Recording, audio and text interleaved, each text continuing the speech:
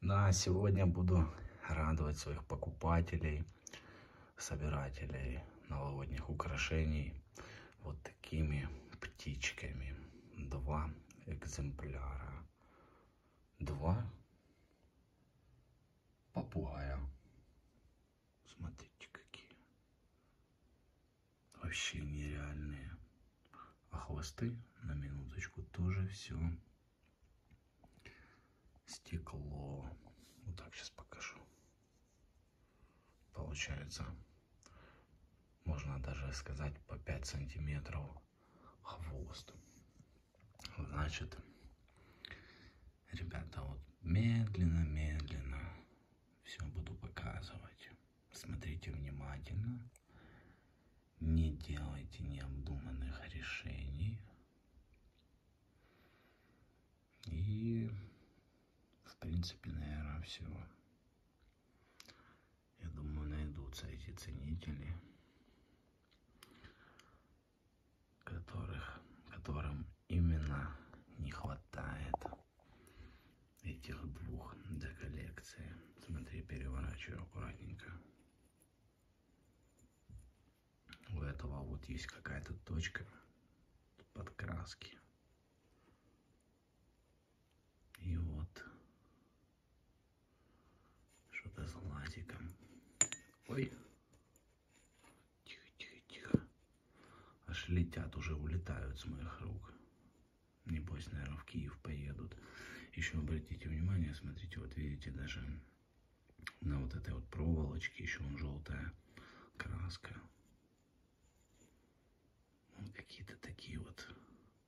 А, так у него с двух сторон две точки. Возможно, так и надо.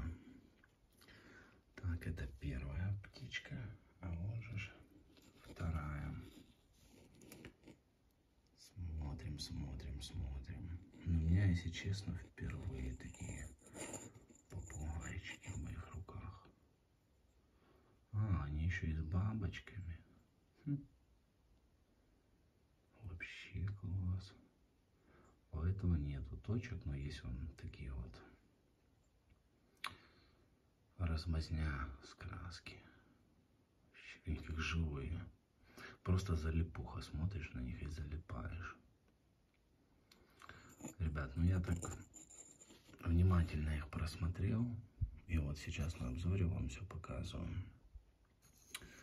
Сколов трещин нет. Есть вот такие вот дефекты красок. Незначительные там вот такие вот скольчики.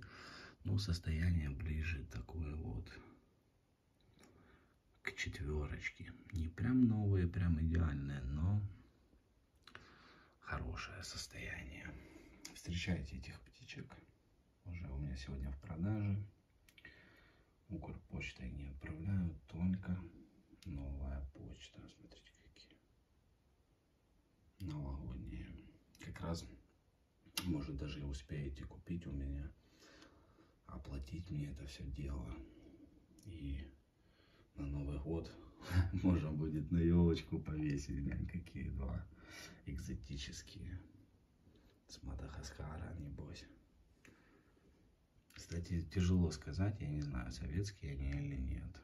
Производство вообще неизвестное. Да, и смотрите за моими лотами, потому что я буду еще безумное количество игрушек выставлять, похожих.